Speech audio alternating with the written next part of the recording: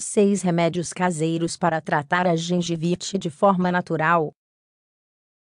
Os remédios naturais contra a gengivite não devem substituir o tratamento médico. No entanto, podem servir como um complemento para aliviar os sintomas. Você se atreve a experimentá-los?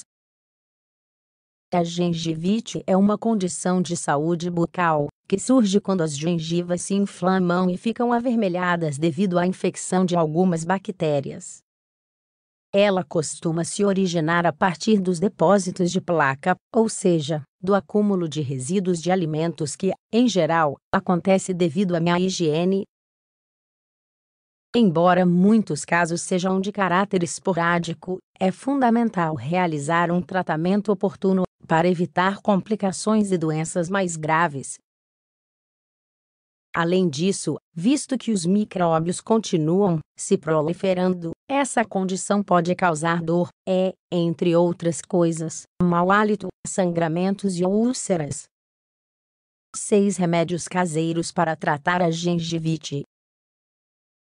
Antes de conhecer os remédios caseiros para tratar a gengivite, é importante destacar a importância de ir ao dentista, Embora alguns ingredientes possam ser benéficos contra esse problema bucal, o profissional deve ser responsável por fornecer um diagnóstico e tratamento adequados.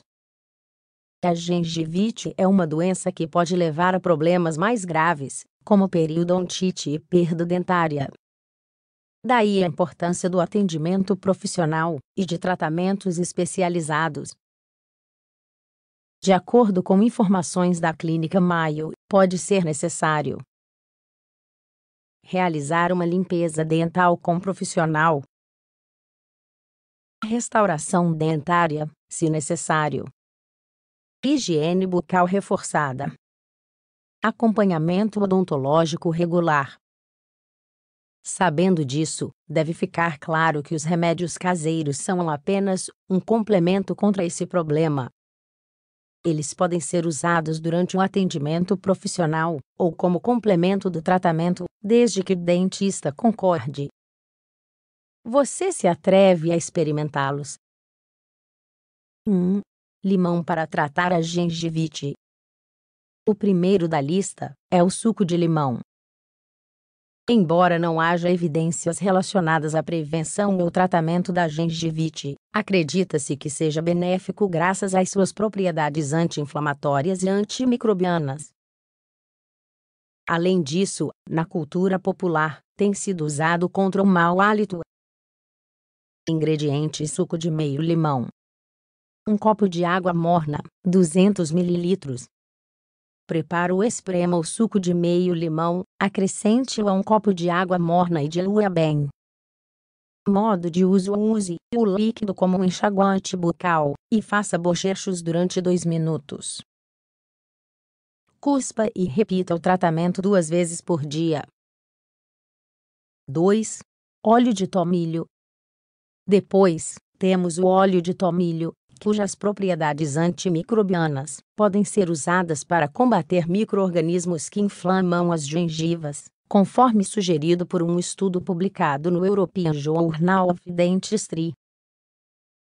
Ingredientes: meio copo de água morna, 100 ml, meio colher de chá de óleo de tomilho, 2 gramas, Preparo dilua o óleo de tomilho em meio copo de água morna. Modo de uso Faça bochechos com a bebida durante um ou dois minutos. Repita o procedimento depois de cada refeição principal. 3. Bicarbonato de sódio e água oxigenada. Um enxaguante bucal caseiro de bicarbonato de sódio e água oxigenada pode efetivamente reduzir os sintomas desconfortáveis causados pela gengivite. No entanto, seu uso não é recomendado, pois pode corroer o esmalte e queimar a cavidade oral. Segundo uma pesquisa publicada em Compendium of Continuing Education in Dentistry, o bicarbonato é bactericida contra a maioria dos patógenos periodontais. No entanto, não é superior aos tratamentos convencionais. Portanto, deve ser usado com muito cuidado e de maneira pontual, nunca regularmente. Ingredientes: um copo de água morna, 200 ml, 1 colher de chá de bicarbonato de sódio, 5 gramas, 2 colheres de sopa de água oxigenada, 20 ml. Prepare o misture o bicarbonato em um copo de água morna e acrescente a água oxigenada até diluir bem. Modo de uso: enxague a boca com o líquido e faça bochechos durante 2 minutos depois da escovação. Evite usar mais de duas vezes ao dia, já que pode ser um pouco abrasivo. 4. Aloe vera para gengivite. Como os outros ingredientes da nossa lista, o gel de aloe vera é um produto antibacteriano e anti-inflamatório que combate o inchaço das gengivas, ao mesmo tempo que diminui o crescimento de micróbios.